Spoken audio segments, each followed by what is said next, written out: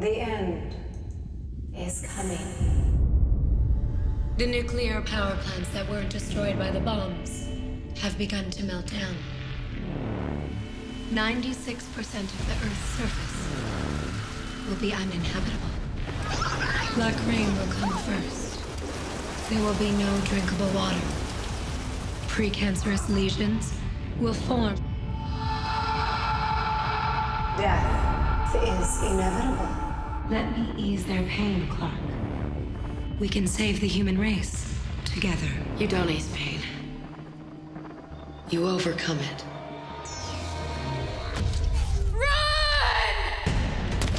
I know you're afraid. I know you're angry. But if we stick together, we won't just survive.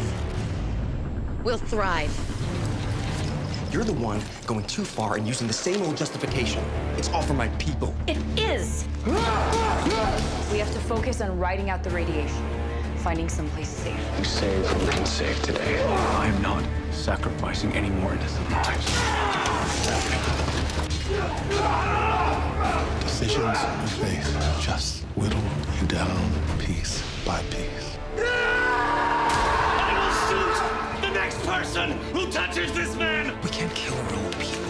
Trying to save them. Justice and vengeance are not the same thing. To me, they are. They're calling her a sky ripper. Death from above. I'm so proud. I can help you do what your mother never could. What Ontari never could. Rule everything.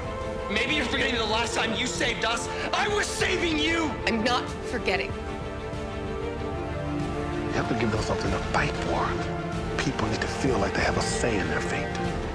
First we survive, then we find our humanity again. We will find a way out of this. Every time I think that something bad happens. Don't you want us to survive? No, I don't want us to survive. I want us to live. You still have hope? We're still breathing.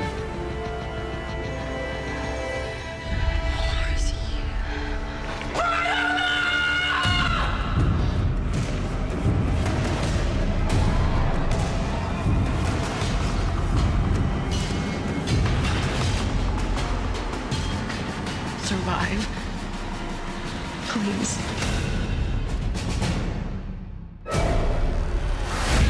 The Hundred, season premiere Wednesday, February 1st on The CW.